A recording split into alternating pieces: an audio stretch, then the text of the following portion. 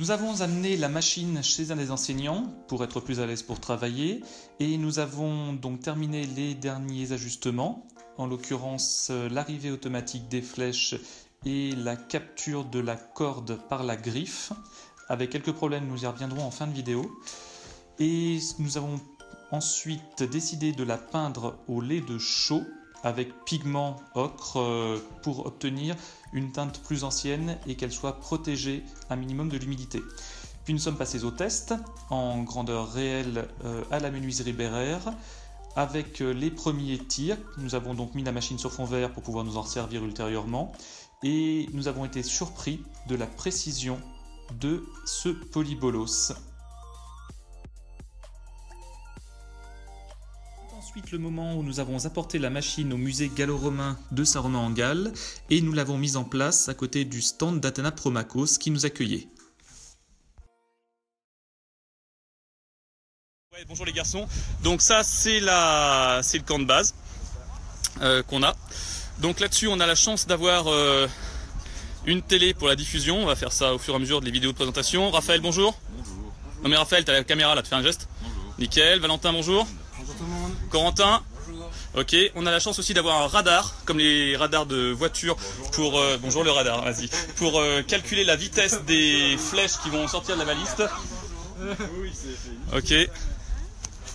Paquette des, des petits, des petites terminales.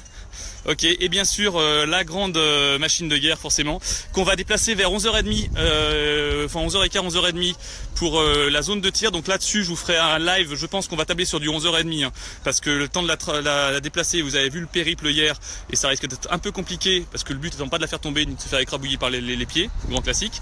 Donc voilà, on vous tient, on vous fera les essais en direct, en espérant que ça plante pas trop logiquement ça devrait marcher. Et le public arrive, donc euh, nous on va commencer à présenter tout le reste. Donc je vous dis tout à l'heure vers 11h30. A tout de suite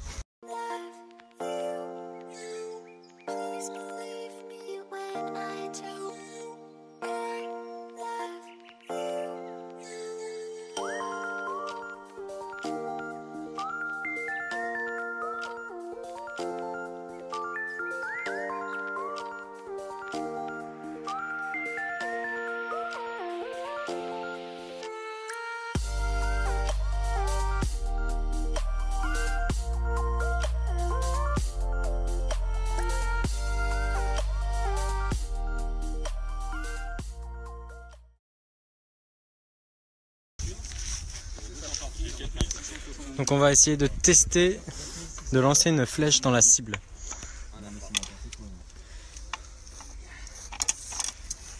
Tu peux commenter Valentin hein. Oui oui pas de souci. Donc là on attend que les amateurs mettent les flèches. Mais après on garantit pas que ça ça, ça pas quelque part. Monsieur Amardeil. Petit chapeau. Donc là c'est le radar pour voir combien elle va. Bon, tout à l'heure on a tiré dans le jaune. On va essayer de faire pareil.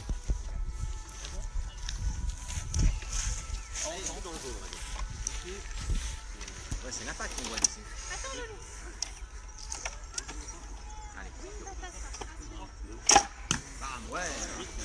Dans le rouge.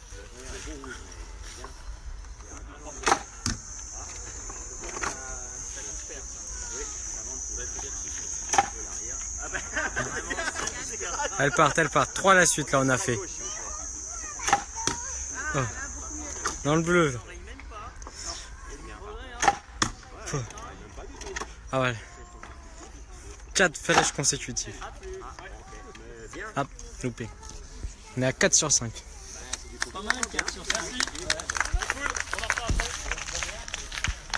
Donc on va voir la cible. Joli tir. Hein Et pendant ce temps, le bébé Polybolos était mis en démonstration avec des spaghettis. Alors bien évidemment, nous avons été confrontés à certains problèmes. Le premier était en l'occurrence le jeu du bois par rapport à la chaleur, mais ce n'était pas le plus important. Nous avons rencontré surtout trois problèmes majeurs. Le premier, c'est que nous avons pris des flèches qui étaient de diamètre 9 mm, le standard du commerce, alors que nous aurions dû prendre effectivement des flèches de 1 cm à 2 cm de diamètre, type des carreaux, pour être sûr d'avoir un bon enclenchement de, de cordes, ce qui n'a pas été le cas tout le temps.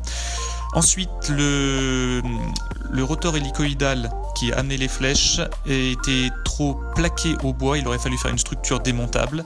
Et enfin, la griffe d'accrochage de la corde n'a pas été usinée correctement et elle rentrait dans une encoche de bois sur, le, sur la traverse, ce qui faisait que la corde était sciée à force par la griffe métallique.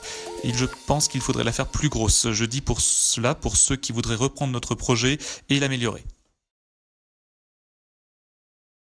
D'ailleurs, à ce titre-là, nous mettrons les fichiers SolidWorks ou SketchUp dans les liens en dessous, histoire que ceux qui voudraient reprendre l'idée puissent travailler et améliorer la structure de base que nous avons produite. Nous vous remercions beaucoup d'avoir suivi ce projet et je remercie tout particulièrement tous les acteurs qui sont listés ci-contre d'avoir participé à ce projet.